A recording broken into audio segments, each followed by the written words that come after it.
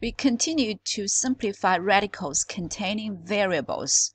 We've looked at some examples in the previous video, um, but none of them contained any fractions. So in these two examples, we're going to look at radicals containing variables and also fractions. As you can see, there is a fraction 5a over 7b with the radical sign, and also uh, this whole thing is a fraction, which violates rule number three, uh, that no radical appears in the denominator. So in this whole fraction, in the denominator, we have a radical, which violates number three. And in this case, with the radical sign, there's a fraction which violates uh, rule number two.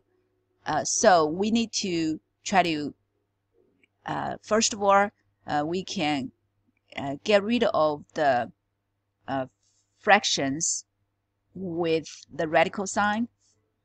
And what we can do is we can take square root of the top, which gives us square root of 5a, and take square root of the bottom, which gives us square root of 7b. And uh, now, if you look uh, at this step, that uh, that we have a radical on the in the top, we have a radical in the bottom, um, but within each radical, there are no fractions anymore. 5a is not a fraction, 7b is not a fraction. And but it still violates number rule number three. We are not supposed to have a radical in the denominator, but we do have a radical 7b. Uh, in the top, we, we can have radicals, but not in the denominator. So how do we get rid of that? Uh, remember that uh, to get rid of radical sign, uh, recall the problems we did before, say if we have square root of 49 and then uh, we get 7, the radical sign disappears because 49 it can be written as 7 times 7, which is 7 squared, or 2 copies of 7. And then when you take square root, you're just going to get a whole number 7. And similarly, if we have, say, square root b squared, and then we also get letter B without the radical sign anymore because any two copies can come out. And so this is the idea. Uh, this tells us what we need to do to get rid of this radical sign.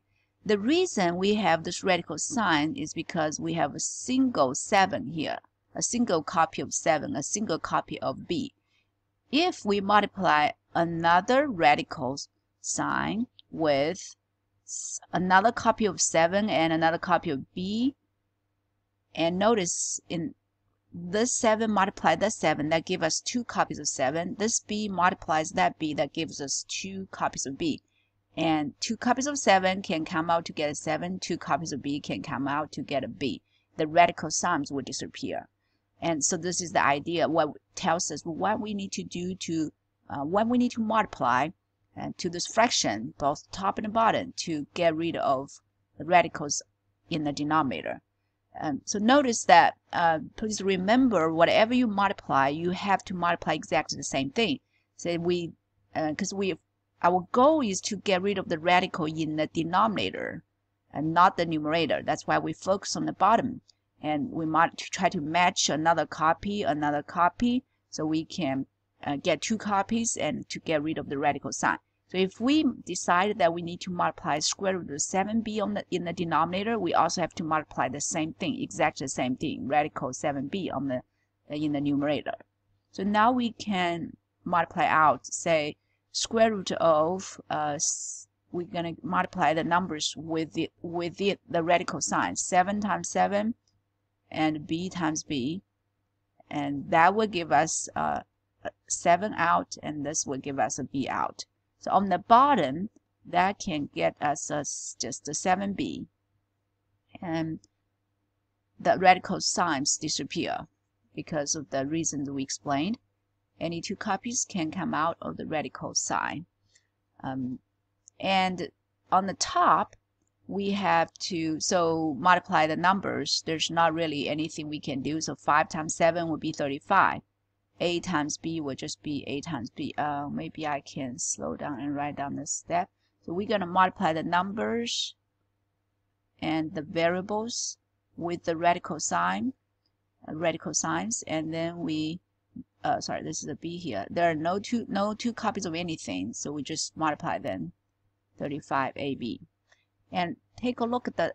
So this is the final answer, and this is in the simplest form because, uh, first of all, with the radical sign, there are no two copies of anything. Single 5, single 7, single a, single b, and which multiplies to get us 35ab. And so it meets the first requirement. Second requirement, no fraction appears with the radical sign. This is the radical sign here. With the radical sign, we have 35ab, no fractions. Although the whole thing is a fraction, um, rule number two only says with the radical sign. With the radical sign, uh, this is what we have. This is with the radical sign that apparently has no fraction. Now, rule number three says no radical appears in the denominator. And this in this whole fraction, that's our denominator. And there, it's 7b. There's no radical sign in the denominator. So it also meets the third rule. So this is the simplest form. Now let's take a look at example 6. So example 6 is sort of like starting from here. Uh, we already have, uh, we don't have fractions on, with the radical sign, 2b with the radical sign, 45, uh, a fifth with radical sign. Neither of them is a fraction. We don't have to worry about rule number 2. But we do have a radical in the denominator, which is radical 45 a fifth. So what we need to do is, there are a few different ways to do this. Um, you may be able to do the same thing like we did. Okay, there's a single 7. Let's multiply by another copy of 7. Single b, multiply another copy of b. Um, but in this case, uh, I'm going to try to uh, reduce, because um, you may not need to multiply another copy of 45. If you multiply another copy of 45, you may have to simplify it later. And so let's first break down 45 a fifth, see what we need. So we know 45 is 5 times 9. 9 is 3 times 3. And a fifth is 5 copies of a. A, A, A, A, A. And on the top, in the numerator, there's nothing we need to do. So notice that we have two copies of 3 that can be taken out of the radical sign and two copies of A, two copies of A, which we discussed before. Um, so you can do the quick way without expanding the number of copies. So now we have a three, this, this pair of three comes out. And we have two pairs of A that gives us A squared. Because this A comes out, A, this A comes out, A times A, A squared. And what's left with, with the radical sign now is just the 5 and A. And so we don't really have to multiply another copy of 45 and another copy of 8 fifth. That would be way too big. And later you still have to reduce that uh, 45 uh, with square root of 45 and 8 fifth. Notice that we all we need to multiply is just another copy of 5, another copy of a, because single 5 and the single a.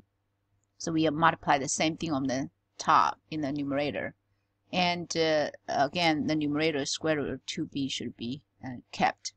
So um, so the first thing I did is to simplify the bottom. Simplify the bottom if you can.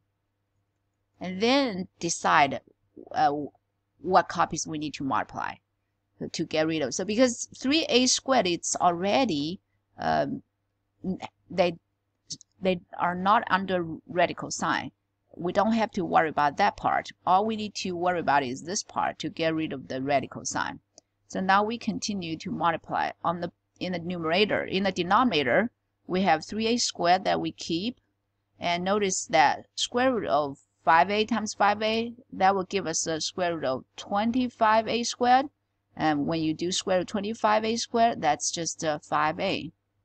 Because 25, square root 25 is a 5 square root of a squared, that's uh, a. And in the numerator, and there's um, just uh, 2 times 5 will be 10, a times b will be uh, ab.